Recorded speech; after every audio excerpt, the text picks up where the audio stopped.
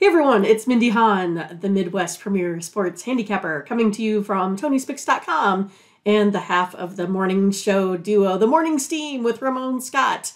Uh, but hope you enjoy this free pick video from our show. Uh, be sure to click in the link in the description for our best bets. Now here is the pick. Milwaukee, they're down. This Tired is of this another, mediocreness from us. Another home dog taking action, Mindy. Uh, Milwaukee's down to a five and a half point favorite, and the total is dropping as well, uh, 217 and a half. Uh, maybe I should check the injury report, but I don't know. It'd probably be going down a little more if the big man was out. What do you have in this one? Uh, well, I mean, I just couldn't really find a way for the Thunder to cover here in this one. I know, you know, how we're, you know, talking about these uh, road dogs here, but, you know, Bucks just have that one loss on the season. Uh, we called that one out, uh, you know, versus the Hawks. Uh, Thunder's lost three in a row now. It brings a record to four and six. Uh, uh, pre games, the three games prior to that loss to the Hawks, box uh, the Bucks won um, each of their you know games before that by at least 13 points. Uh, you know they're also good, I think, at getting extra possessions, uh, finding a way to get rebounds here as well. Um, you know, I think uh, the Bucks being eight and two against the spread in the last 10. Um, I think they're going to be able to win and cover here this one.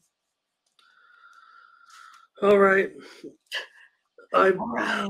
Well, I mean, I talked to and I talked up that I was going to take these home dogs, but this is another favorite, uh, road favorite that I'm going to have to back with you uh, in this one. Um, look, the Bucks, you know, they have that right nine and one. They're eight and two against the number. They've gone under in five straight, showing that they're playing, you know, defense. Uh, you know, yeah, it's been a rough spot for Milwaukee to go in here. I mean, I know this is East West, but they've only covered six out of the last 21 meetings at OKC. Five of the last six meetings, though, have gone over. So to me, that kind of signals that Milwaukee will be interested in making sure they have the defensive effort at least to come with this game. Maybe five and a half is a little bit, but it's a discount off the seven and a half opener. So um, I'm willing to do it, Mindy. I'm willing All to right. take the Bucks here uh, and lay these points on the road, despite everything that I said. Um, yeah, let's let's go ahead and do it. Let's Play. go to the well here.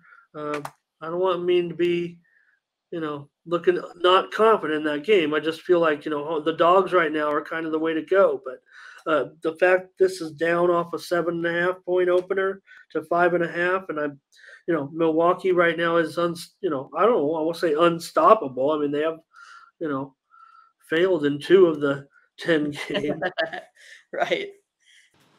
So thanks for watching and make sure you get over to the Tony'sPicks.com website right now and check out our All Cappers tab where you can purchase some of our own personal picks. And be sure to go ahead and use the promo code TonyT at checkout to save 20%. Okay, have fun. Watch another video. Take care, everyone. Bye bye.